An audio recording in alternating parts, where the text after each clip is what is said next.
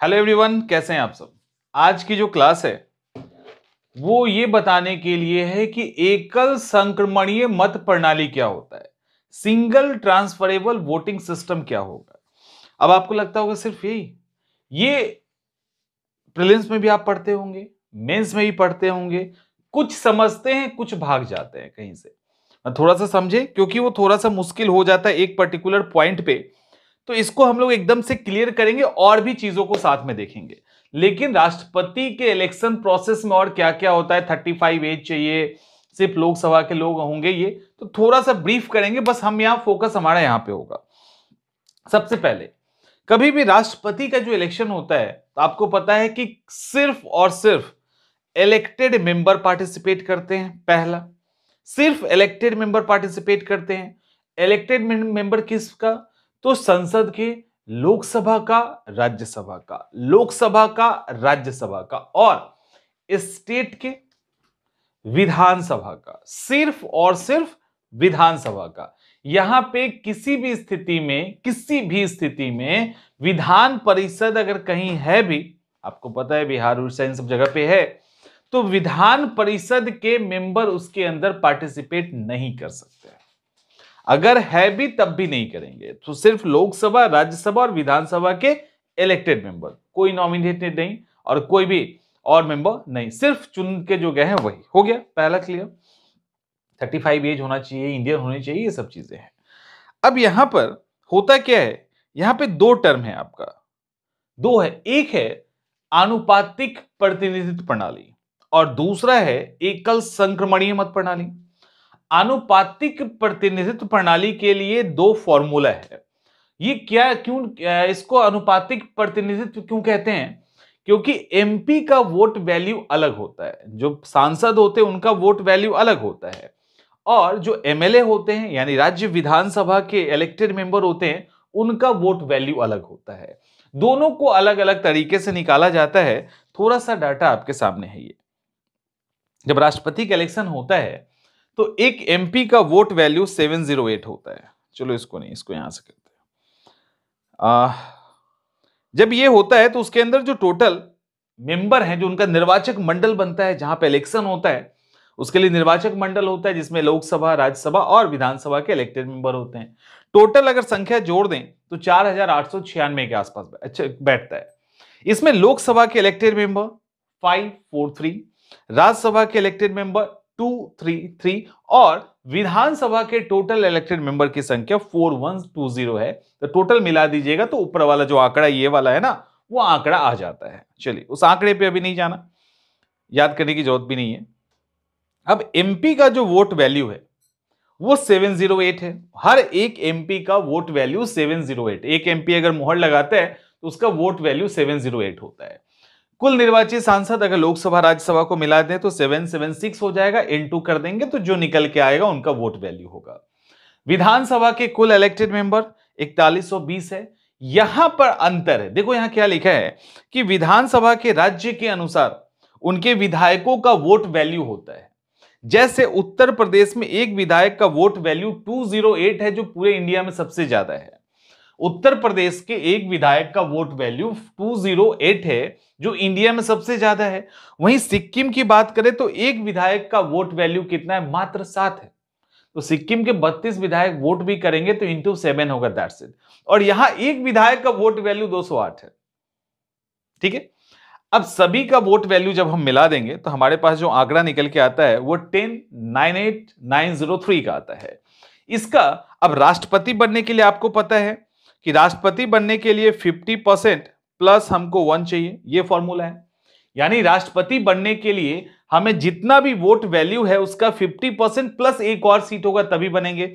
लोकसभा वाला बात नहीं है कि 100 सीट है, किसी को तीस भी आ गया और सब में पंद्रह पंद्रह बट गया तो तीस वाला ज़्यादा है तो वो पास कर जाएगा। या मतलब 40 सीट किसी को आए, किसी को 42 आ गया तो 42 वाला निकल जाएगा। ऐसा नहीं है। 50 परसेंट मिनिमम इनको रिज़र्व करना है प्लस वन रहेगा, तभी राष्ट्रपति बन पाएँगे अदरवाइज़ नहीं। ठीक है? यहाँ तक क्लियर कोई दिक्कत नहीं। सबका एक वोट वैल्यू है। और वोट वैल्यू क्यों है? इसको हम लोग इस फॉर्मूला को देखते हैं। पहला एमपी की बात कर ले। पहले एमएलए की बात कर लेते हैं। एमएलए का कैसे स्टेट वाइज अलग होता है? इसका कारण है। ये आप देखिए एमएलए का। एमएलए में लिखा हुआ है total value of an MLA total population of state, यानी स्टेट का पॉपुलेशन मायने रखता है, यही वोट वैल्यू में अंतर ला देता है। और दूसरा, total number of elected member in the legislative assembly. अब वहाँ के कितने लोग इलेक्टेड हैं? प्लस वहाँ की population into one by one by thousand ठीक है? अब वन बाई थाउज़ेंड से जब हम डिवाइड करेंगे तो जो आंकड़ा निकल के आएगा that is vote value of MLA इसमें होता यह है, जैसे मान लो कि आंकड़ा निकल के आया two zero five point six मान लो ये निकल के आया पॉइंट सिक्स निकल के आया। तो फिर इसका क्या होगा? तो इसका मतलब है उसमें अब हम पॉइंट फोर जोड़ देंगे और वो हो जाएगा टू ज़ीरो सिक्स लेकिन उल्टा, अगर ऐसा होता कि two zero five point four आता तो पॉइंट फोर हम हटा देंगे और इसका vote value two zero five हो जाता। है तो पॉइंट फाइव प्लस अगर होता है तो फिर ठीक है, एक जो उसमें एक्स्ट्रा जोड़ के उसको एक कर देंगे और अगर कम होता है तो उसको छोड़ देंगे। तो ऐसे फॉर्मूला है। तो जब हम एमपी का तो इसी कारण एमपी का वोट वैल्यू में वेरिएशन होता है। लेकिन दूसरी तरफ़ एमएलए के सॉरी एमएलए के वोट वैल्यू में अंतर होता है। यूपी का अलग हो जाएगा, सिक्किम का अलग होगा, बिहार का अलग होगा, तमिलनाडु का अलग होगा। लेकिन एमपी का जब निकालने जाएँगे तो इसका फॉर्मूला क्या है? एमपी का फॉर्मूला क्या है? एमपी का फॉर्मूला है कि total value of votes of all MLA of all state यानी जितने भी एमएलए के, जितने भी एमएलए का वोट वैल्यूज़ है वो इसकल टू टोटल इलेक्टेड मेंबर इसको काट कूट दीजिए। तो जो आना है, वो 708 के आसपास बैठेगा सॉरी वो 708 आएगा। और यही जो है, यहाँ पे लिखा हुआ, यहाँ पे पहले हम लोग डिस्कस भी किए हैं, ये वाला। 708 आएगा और यही वोट वैल्यू एमपी का होता है। तो इसको तो हम लोग कहते हैं जो अनुपातिक प्रतिनिधित्व प्रणाली है, ठीक है? वो रिप्रेजेंटेशन अब हम लोग बात करते हैं सिंगल ट्रांसफरेबल वोटिंग सिस्टम इसको कहा जाता है एकल संक्रमणीय मत प्रणाली। जिन जिन चेहरों को लिया गया है तो थोड़ा सा नीतीश जी को लग रहा होगा देख के कि नीतीश जी का चेहरा क्यों ले लिया गया है। दरअसल प्रधानमंत्री के होड़ में अब ये भी आ गए हैं बहुत मजबूती के साथ। मोदी जी है, अमित शाह है और Rahul Gandhi. Just for example हमने इन चार उभरते हुए सिता, कुछ उभर चुके हैं, कुछ उभर रहे हैं, सितारों को लिया है और काफ़ी मंजे हुए पॉलिटिशियन ये सब हैं। संभावना होगी कोई कोई भी बन जाए, क्या, कौन जानता है कल? होके प्रधानमंत्री नहीं तो राष्ट्रपति ही सही।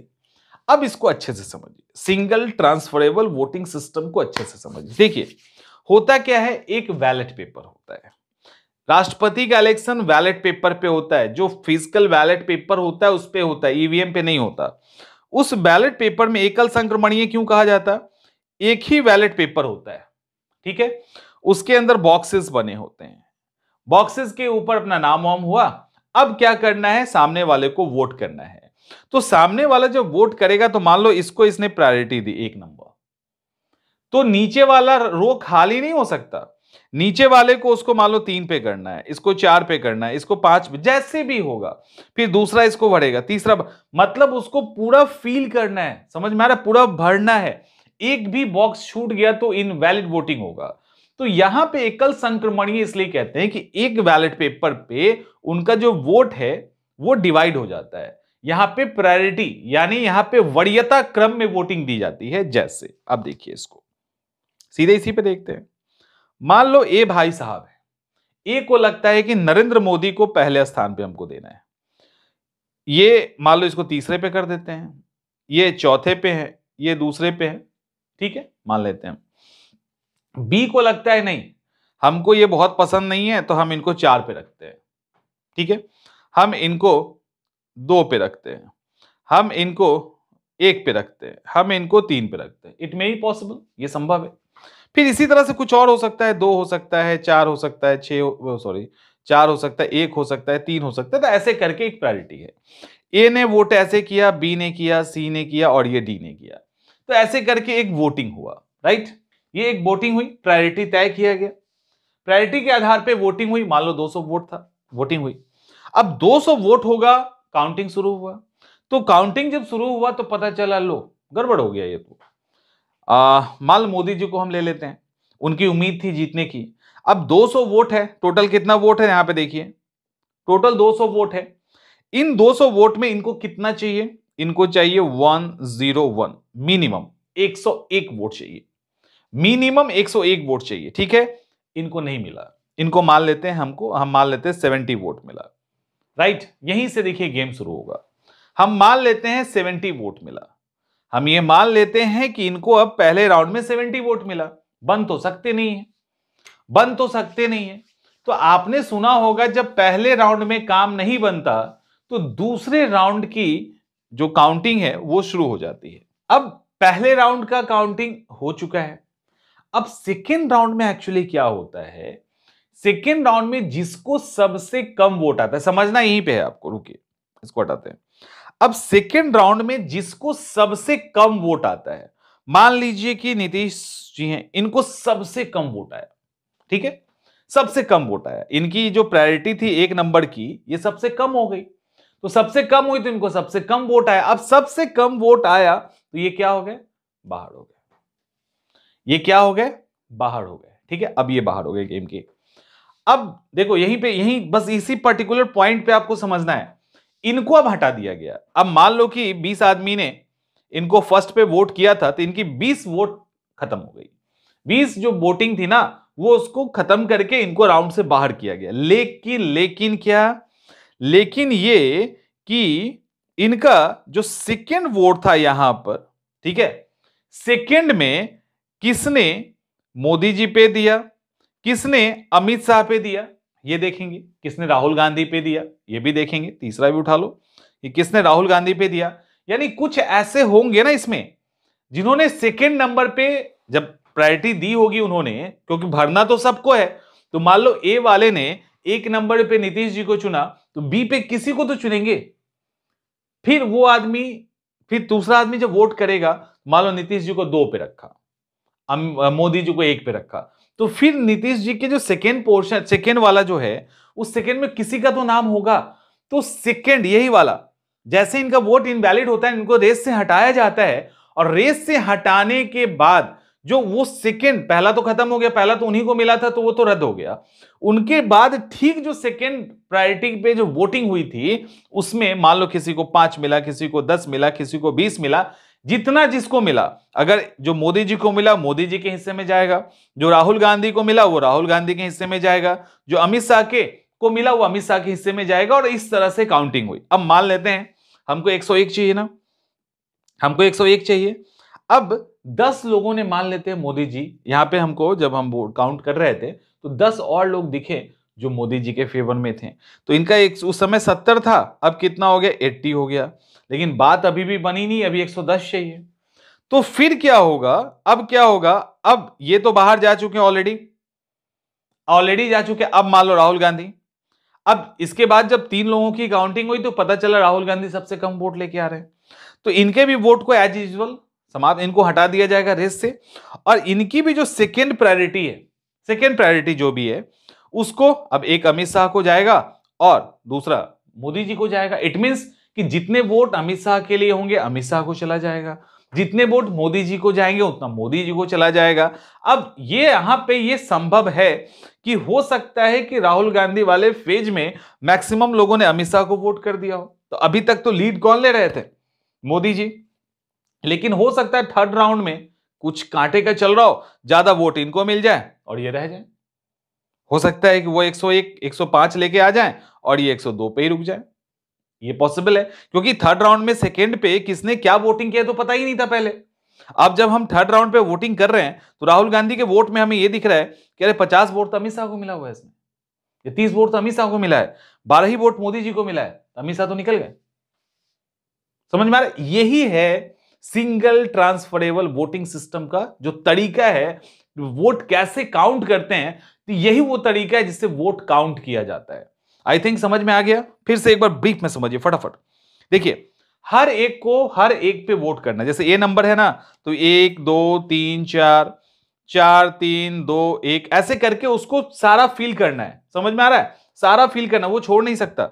इसको वोट कर रहा है, ये भी करेंगे, ये भी करेंगे, ऐसे करके उनको अपने जो भी वैलेट पेपर मिला है उस पर उनको वोट करना है। That is single transferable voting system vote एक है वैलेट पेपर एक है, अपने वोट को वो ट्रांसफ़र कर रहे हैं। प्रायोरिटी बेसिस पे ट्रांसफ़र कर रहे हैं राइट हो गया? अब दूसरा, कि अब एक, अब अब क्या होगा? अब तो जब वोटिंग हो गई तो अब तब उसको काउंटिंग होगी। जब काउंटिंग होगी तो नॉर्मली फ़र्स्ट राउंड में ही फिफ्टी परसेंट प्लस वन ले लेते हैं। ऐसा बात ही हुआ है गिरी साहब के साथ। तो वो नॉर्मली हो जाता है, लेकिन लेकिन दूसरी तरफ़, अगर मान लो पहली बार में नहीं हुआ, पहली बार में नहीं हुआ तो दूसरा काउंटिंग होगा। तो जो सबसे पीछे में पिछड़ गया, जो सबसे पीछे रह गया तो जो सबसे पीछे रह गया, उसको उस रेस से बाहर कर दिया जाएगा। और उसका जो सेकंड ऑप्शन है, यानी पहले प्रायोरिटी पे, पहले बॉक्स में प्रायोरिटी जो थी, वो हट जाएगा। सेकंड पे जित, जो वोट दिया गया है ना, वो वोट जिस जिस को दिया गया है यानी पाँच लोगों ने किसी एक को दिया दूसरे लोगों ने बी को दिया, तीसरे ने सी को दिया। तो ए वाले को पाँच वोट है तो चला जाएगा, तीन वोट बी को मिला तो बी के हिस्से में चला जाएगा, फिर सी के हिस्से में चला जाएगा, फिर अब जोड़ के देखा जाएगा किसी का फिफ्टी परसेंट प्लस वन हुआ कि नहीं। अगर बाई चांस नहीं हुआ, थर्ड राउंड का होगा। तो ऐसे करके राउंड चलते हैं, तब तक हो ही जाना है। नहीं होने का तब सवाल नहीं है, तब हो ही जाएगा। तब वो नहीं होगा तो नहीं होगा, ऐसा नहीं होगा। तो इसीलिए ये एक तरीका अपनाया जाता है राष्ट्रपति के इलेक्शन में सिंगल ट्रांसफरेबल वोटिंग सिस्टम इसी को कहते हैं, एकल संक्रमणीय मत प्रणाली, और इसी तरह से इनके वोट को काउंट किया जाता है। होपफुली कंफ्यूजन दूर हो गया होगा और चीज़ें समझ गए होंगे। तो इसको अगर समझ में आ गया और कोई दिक्कत रह गई हो तो बताइएगा, फिर इसको हम लोग डील करेंगे।